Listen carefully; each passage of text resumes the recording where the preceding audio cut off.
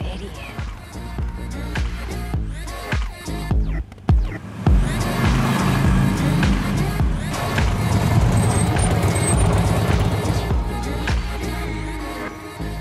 That was seriously not cool.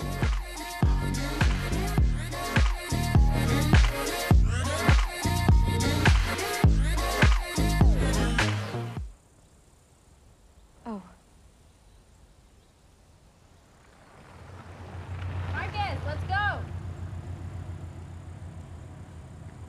Who's she?